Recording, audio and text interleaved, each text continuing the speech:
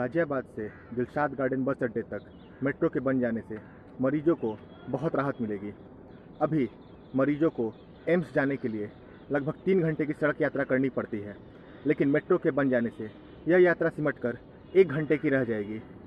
कितने ही मरीज़ रास्ते में सड़क जाम की वजह से दम तोड़ देते हैं, लेकिन मेट्रो के बन जाने से उनकी इन समस्याओं का हल हो जाएगा। ईटीवी दिल्ली के लिए नवीन निशांत।